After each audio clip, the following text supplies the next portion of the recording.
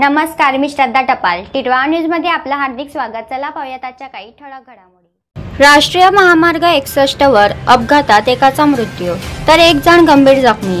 कल्याण महाशेज महामार्गावर बळेगाव येथे कार व दुचाकीच्या धडकेत एकाचा मृत्यू तर एक जण गंभीर जखमी. मुरबाड तालुक्यातील जांभूळवाडी येथील सदा खोडका वय पंचेचाळीस यांचा मृत्यू झाला असून मुलगा राहुल सदा खोडका हा गंभीर जखमी झाला आहे. अपघातानंतर जखमींना महामार्ग पोलीस व टोकावडे पोलिसांच्या मदतीने मुरबाड येथील रुग्णालयात पाठवण्यात आले. अखेर रुग्णालयात एकाचा मृत्यू झाला. अधिक तपास टोकावडे पोलीस करत आहेत.